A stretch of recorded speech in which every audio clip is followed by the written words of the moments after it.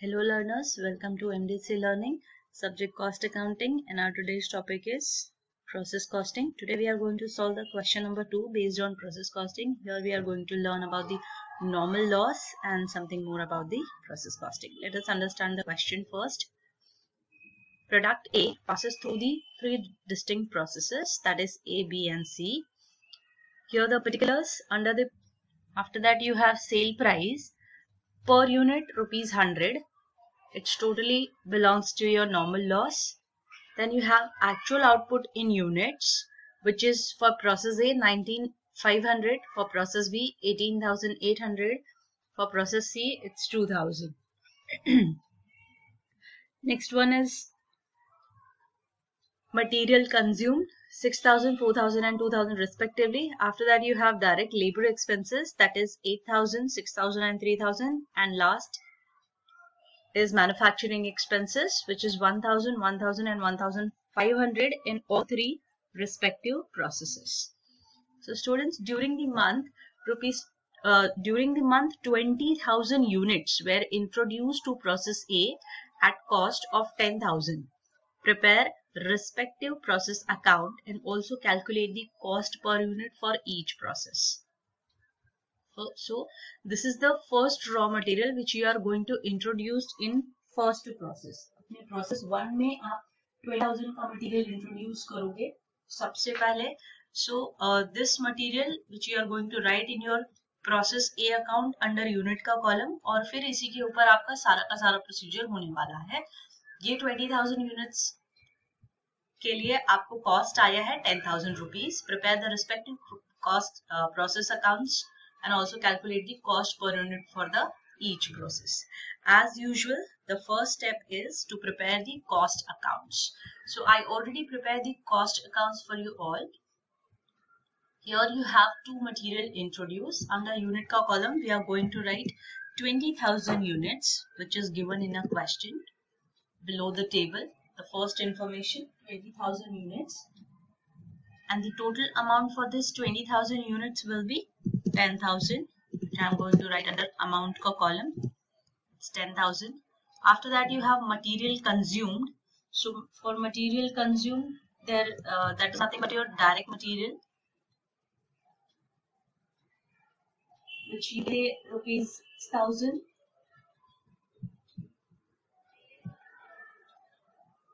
Next you have material consumed which is 6000 it's given in your question. After that you have direct labor. Direct is rupees 8000 it's given in a question. You can see in the table for process 1 these are the expenses which I am writing. After that you have manufacturing expenses which is 1000. So here I am writing 1000. On the credit side the first step is to calculate the normal loss. So calculate is totally based on the percentage of input material. So uh, total input material is 20,000 in process A where you will get 2% as a normal loss. So what we have to do is basically calculate the value uh, calculate the units you can say units of normal loss is 20,000 uh, it's totally multiplied by how many? 2 percent. It's 2 percent which is equal to how many units you can calculate on calculator? It's 400. So under unit column we are writing 400.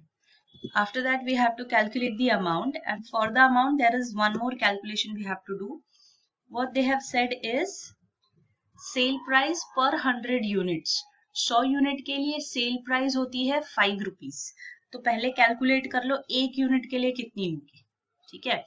So cross multiplication if you can say for hundred units if there is five rupees so for one unit is how much? So 1 multiplied by 5 divided by 100 you will get 0.05 as your per unit calculation. Once again i am saying, अगर यहाँ पे बोला है sale price per hundred unit पाँच रुपया होता है तो एक यूनिट का कितना होगा? एक यूनिट का कैलकुलेट करने के लिए आपको करना पड़ेगा five divide by 5 unit divide by 100 it gives you 0 0.05 so for 0 0.05 your calculation will be for 400 units multiply by 0 0.05 you will get the value as 20 rupees. So under amount column we have to write 20s as a loss.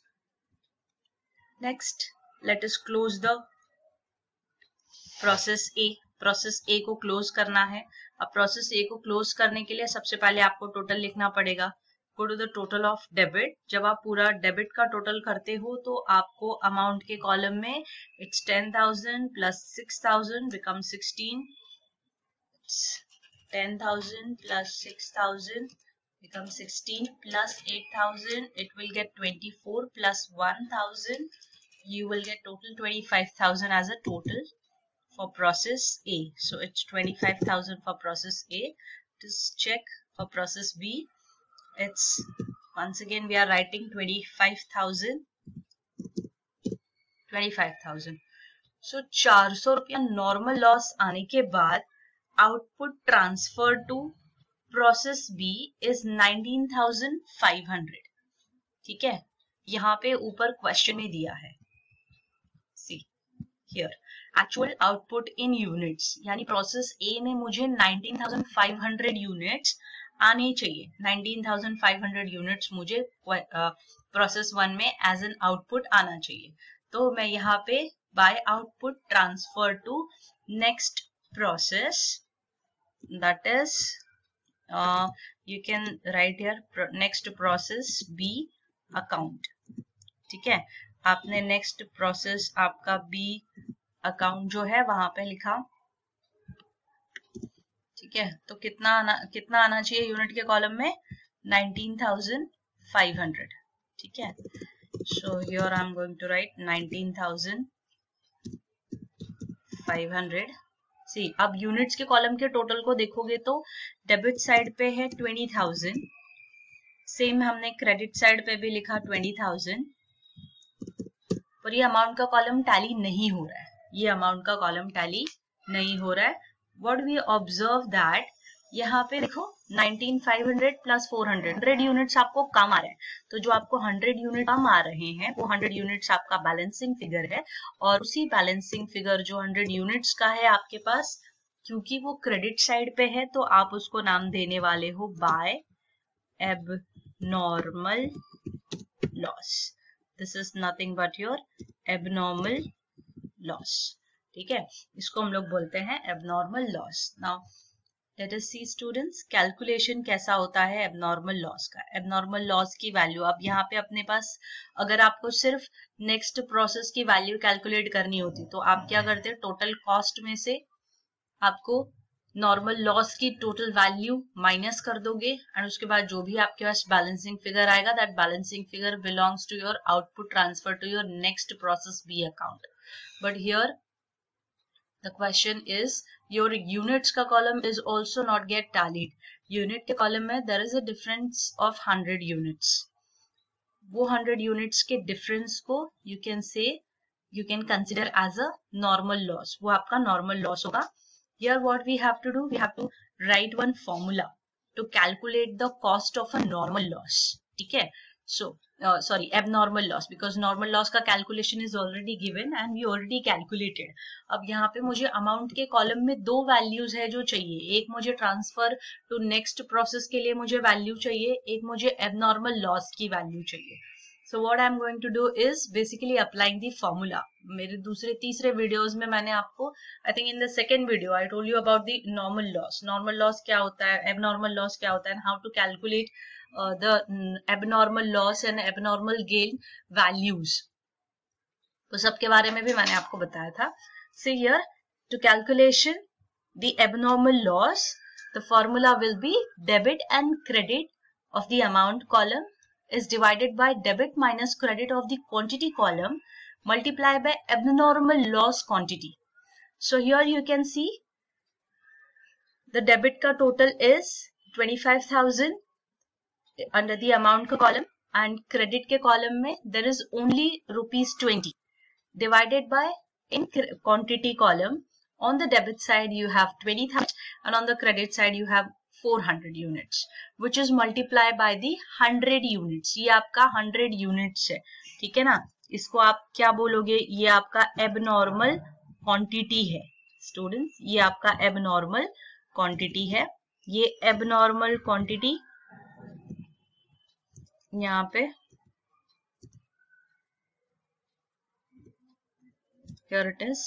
ठीक है? सो अगर आप इसको valued करोगे 25,000 minus 20 किया तो 24,980 आता है which is divided by twenty thousand minus 400 is 19,600 multiply by 100 you will get 127.45 और रुपीज़ 127 ठीक है? यानी 0.45 है तो आप इसको कोई भी वैल्यू लिख सकते हो, यानी आप 127.45 लिख सकते हो, या फिर उसको राइट ऑफ़ करके लिखना हुआ तो what we are writing is only 127 so we are getting the value for abnormal loss abnormal loss के लिए मुझे वैल्यू मिली है. एबनॉर्मल लॉस के लिए मुझे वैल्यू मिली है. कौन सी वैल्यू मिली है मुझे एबनॉर्मल लॉस के लिए? One twenty seven rupees for my hundred units तो एबनॉर्मल लॉस के आगे मुझे लिखना है वन ट्वेंटी सेवन ठीक है? We are getting this value with the help of formula ठीक है? या, यहाँ पे मैंने देखो ब्रैकेट में लिख देना है। This is I am getting from working note number one ठीक है ना? ये मुझे मिला है मेरे वर्किंग नोट नंबर वन से। क्लियर स्टूडेंट्स ये मुझे मिला है मेरे वर्किंग नोट नंबर वन से। 127 आफ्टर दैट सिर्फ़ एक ही चाहिए वैल्यू आपको सिर्फ़ ये 19,500 की वैल्यू चाहिए। तो अब क्या कर सकते हो? Now you can do the total अब आप टोटल वर्क कर सकते हो। आप यहाँ पे टोटल आपके पास 25,000 है। So take the total on calculator 25,000 minus 20 rupees minus 127 rupees you will get 24,853 24,853 in your hand.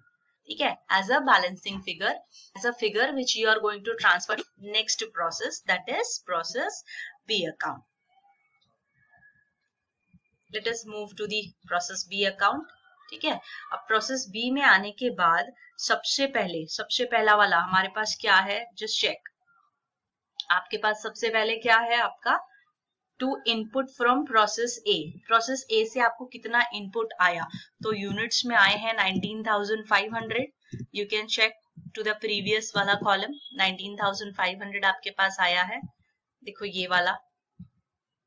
This one with the value of 24,853 उसकी वैल्यू कितनी निकली है? 24,853 so here we are going to write the value 853 after that you have material consumed okay material consumed which is given in the question which is 4000 after that you have uh, this is not material students. It's a printing mistake. This is your direct labor. Yeah direct labor expenditure. Direct labor ka expenditure is it is given in the question. It's 6000 after that you have manufacturing expenses.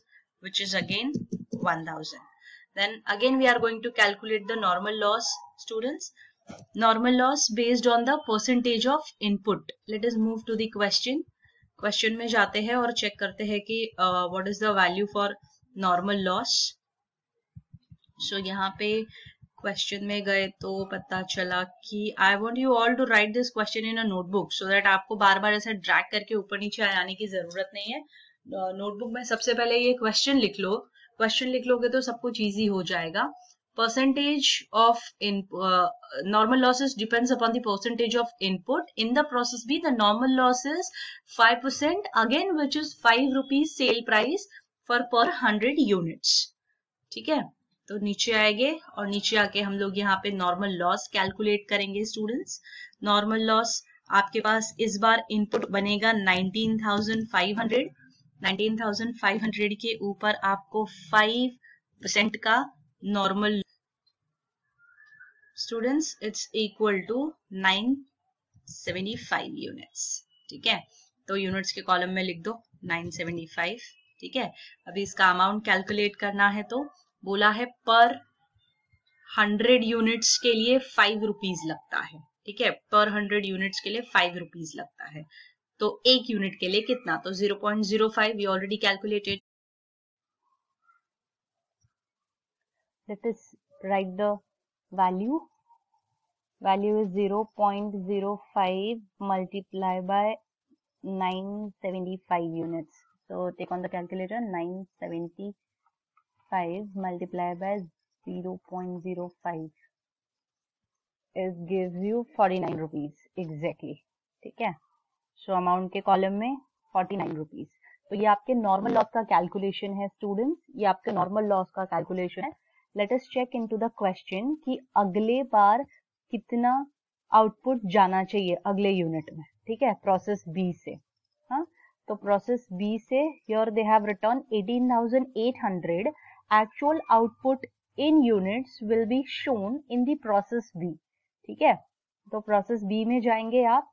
और by output transfer to next process that is process C account में जाने के लिए आपके पास कितने units होने चाहिए?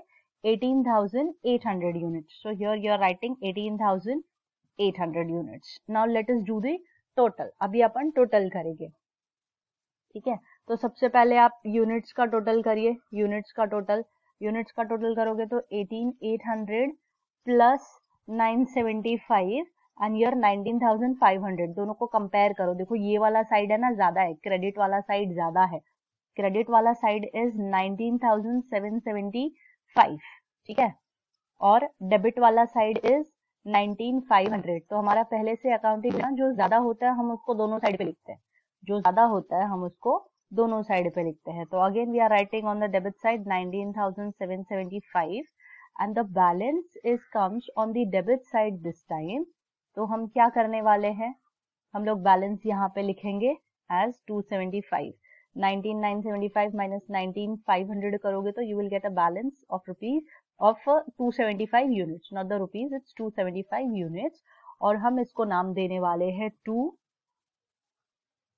Abnormal because normally ये होता नहीं है है ना? तो इसका नाम है abnormal so this is your abnormal gain ये जो आपके पास एक्स्ट्रा यूनिट आया है, इस एक्स्ट्रा यूनिट का नाम है एबनॉर्मल गेन अब ये एबनॉर्मल गेन पता करना पड़ेगा कि इसकी वैल्यू कितनी होगी, ठीक है?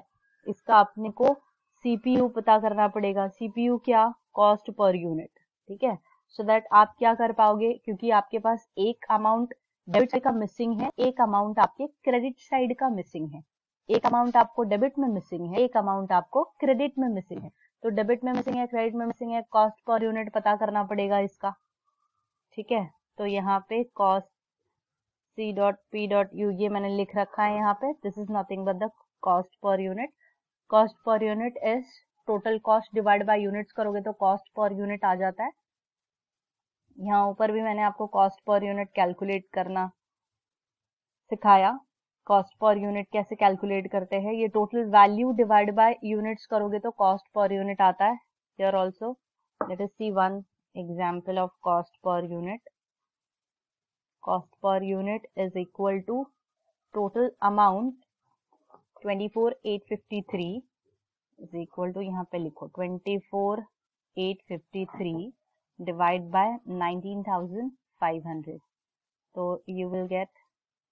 डिवाइड बाय 19500 तो you will get 24853 divided by 24853 divided by 19500 you will get 1.27 as a cost per unit. ठीक है? सेम आपको यहाँ पर भी आएगा। सेम अगर आप देखोगे ना तो सेम वैल्यू आपको यहाँ पर भी आएगी। यानी when you are going to do the abnormal loss का per unit calculation abnormal loss के लिए जब आप पर यूनिट कैलकुलेशन करोगे तो भी आपको सेम चीज़ आएगी।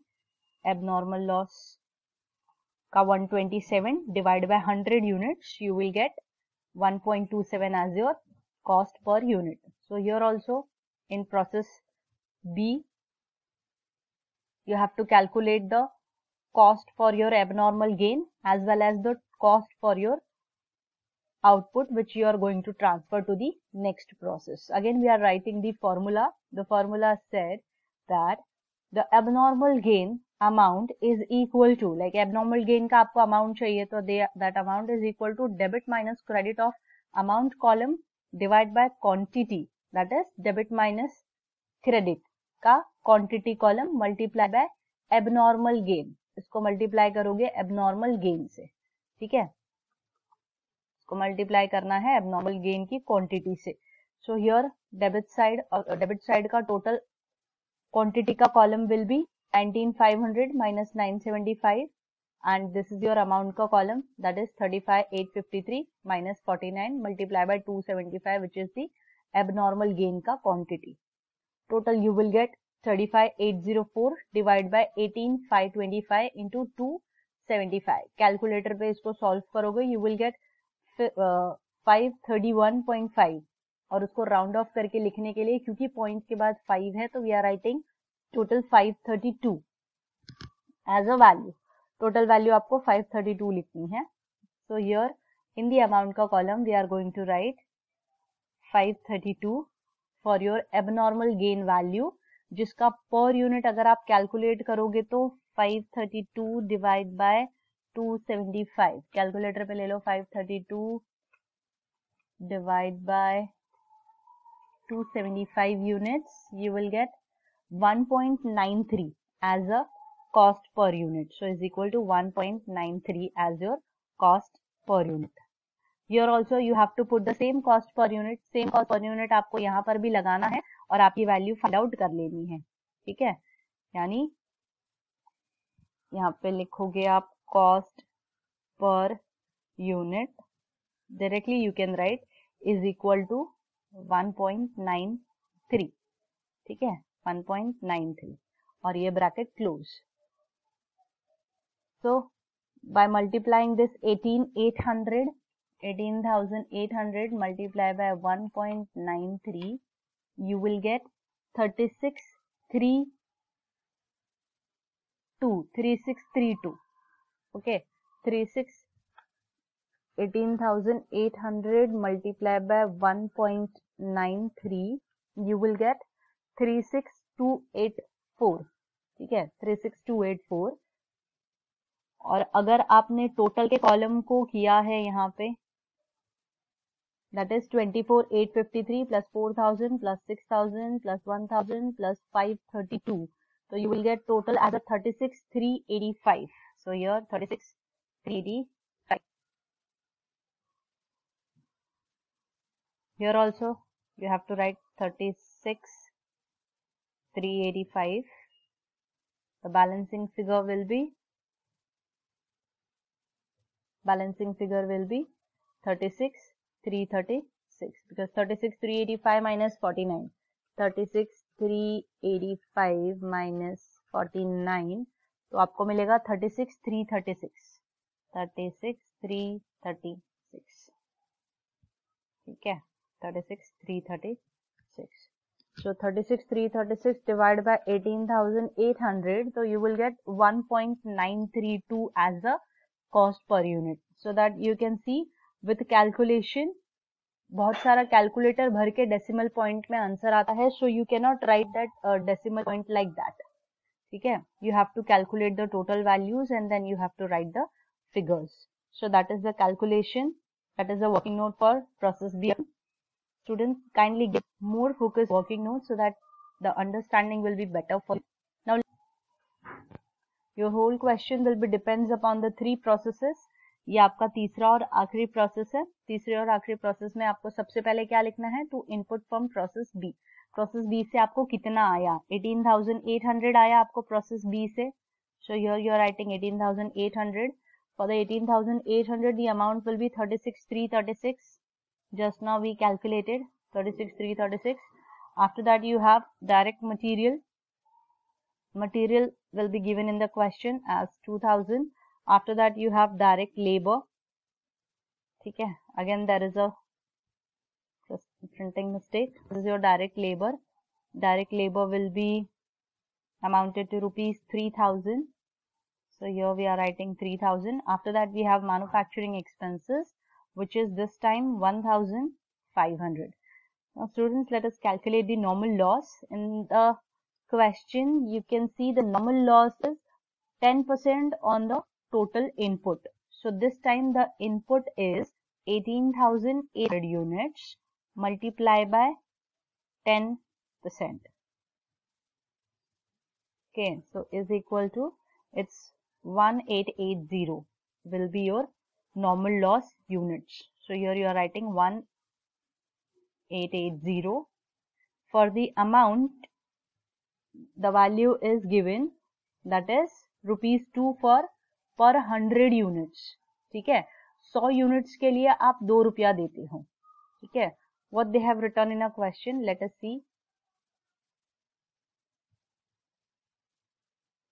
in the question they have written rupees twenty not two it's rupees twenty four per hundred units सौ यूनिट के लिए बीस रुपए खर्च करते हो, ठीक है?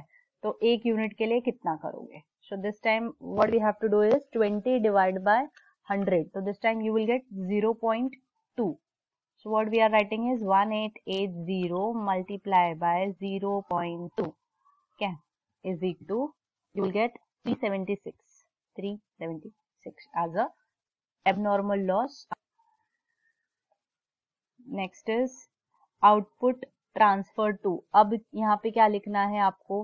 अब यहाँ पे आपको लिखना है output transfer to finished goods account ये आपके पास फाइनली आपका गुड्स प्रोसेस्ड हो गया। तीन प्रोसेसेस से घूम लिया। अभी वो फिनिश गुड्स बन गया है तो इसको अभी अभी सीधा अपन क्या करेंगे? फिनिश गुड्स अकाउंट में ट्रांसफ़र कर देंगे।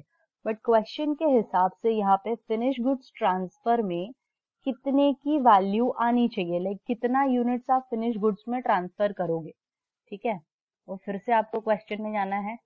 चेक करना है कि ना कितना यूनिट्स हम ट्रांसफ़र कर रहे हैं। This time we are transferring into the finish process only 2000 units ठीक है? 2000 यूनिट्स ही आपको डालने हैं फिनिश प्रोडक्ट में। सो so, आपके पास फिनिश गुड्स के कॉलम में आपको वैल्यू आ जाएगी। अमाउंट के कॉलम में सॉरी यूनिट्स के column it's only two thousand clear so let us close the quantity का column you can see quantity के कॉलम में there is on the debit side eighteen thousand eight hundred and on the credit side आप loss को मिला लो और finish goods को मिला लो ठीक है? सो so, सिर्फ़ three thousand eight hundred and eighty units होता है। बचा हुआ कहाँ गया भाई? तो बचा हुआ जो है वो है आपका एबनॉर्मल क्या? डेबिट में होता तो गेन होता, क्योंकि ये क्रेडिट में है तो आप इसको फिर से लिखोगे बाय एबनॉर्मल लॉस कितने यूनिट्स का एबनॉर्मल लॉस है वो चेक करना पड़ेगा, ठीक है? कितने यूनिट्स का एबनॉर्मल लॉस है? एबनॉर्मल लॉस की value is sorry you can say abnormal loss का quantity is 18800 minus this 18800 minus one eight eight zero minus कितना आपको आया output two thousand so total fourteen thousand nine hundred and twenty fourteen thousand nine hundred and twenty units is calculated for your which you are calculating with the help of formula again we have to put the same formula for the abnormal loss which is debit minus credit for the amount divided by debit minus credit to the quantity multiplied by abnormal loss quantity. So here we are writing the debit ka column for the amount 42836 which I already took the total of 36336 plus 2000 plus 3000 plus 1500 total is 42836 42836 after that credit side पे अपने पास सिर्फ़ normal loss का value था which is three seventy six after that divided by the quantity the debit का quantity is eighteen eight hundred and credit side पे there is one quantity of normal loss calculation which is eight thousand eight hundred and eighty which is multiply by fourteen thousand nine hundred and twenty तो आपको value आ जाएगी thirty seven four forty one this thirty seven four forty one belongs to your abnormal loss because we are calculating the abnormal loss. ठीक है? So so, ये आपके पास आ गया thirty seven four forty as your abnormal loss value ये आपके abnormal loss की वैल्यू आ गई। यहाँ पे आप फिनिश स्टॉक जो आपको बैलेंस बच गया वो आपका फिनिश स्टॉक ठीक है? जो आपके पास बैलेंस बच गया जैसे क्वांटिटी के कॉलम में you have the balance of two thousand and यहाँ पे अमाउंट्स के कॉलम में you have the balance of five zero one nine as your balancing figure यहाँ पे भी आप सेम टोटल लिखोगे 18,800 which is the heavier total for the debit side same आपको डेबिट साइड पे अमाउंट का कॉलम भी हैवी है.